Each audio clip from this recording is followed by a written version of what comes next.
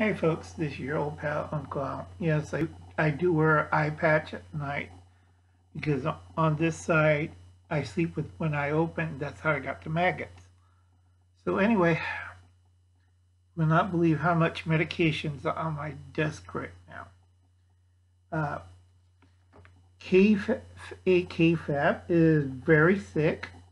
Please keep her in your thoughts. Uh, give her your support uh, your prayers. I still don't know if she's still taking mail or packages or stuff. I'm behind because I've been half blind for a half month. So if I insult anybody, I'm sorry because Uncle Al's brain's not working. It's three in the morning and I'm still wide awake. I'm on painkillers and tranks. And one of my doctors I'm going to see tomorrow I don't know if it's the eye doctor or brain doctor, but a lot of my doctors can't believe I'm still alive. Um, I have toxic blood. I have a bad heart. I have two stents. Uh, uh, what you call it? I got a new injectable. That's wonderful. I always enjoy pooing out orange goo and vomiting orange goo. Scared the crap out of my family, especially when it's Sunday uh, breakfast after church, and I. You ever seen The Exorcist? Okay, it was like that.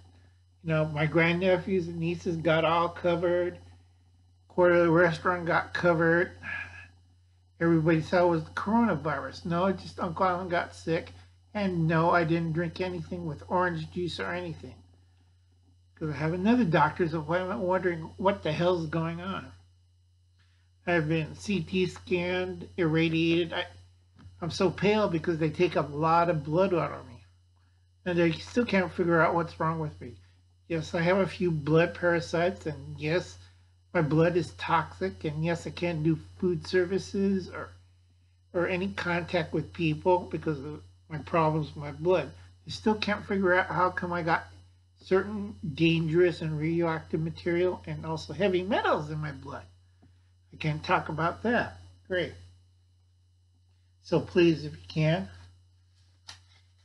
support, say, support, I can't read this, sorry. Support, uh, support, pr prayers, cards, cash, letters to A. Kayfabe. Let's get her to that gold 500. I think she's getting sick from YouTube. No problem. Uh, me, because my brain damage. They said certain things I might, that's why I'm apologizing to everybody, because sometimes I'm blunt and brutal. I don't have an off switch. So I do have to apologize if Alanta gets offended uh, or any of the ration community or prepper community or survival community or tactical guys. I don't care. All right. I'm going to do another 800 videos and I have to quit. Uncle Alan's on a time limit. Okay? A lot of you people don't understand that. Once you have two strokes, if I fall down, if I get into a fight, if anything goes wrong, Uncle Alan's going to drop dead.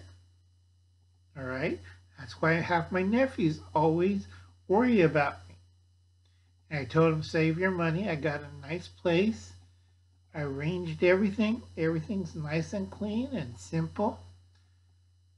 And Uncle Alan knows what he's doing. I still have half a brain still not rotten, and I've been using every benefit and advantage I have but I'm still alive.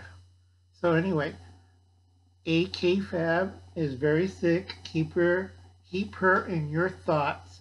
Pray. I'm praying like hell.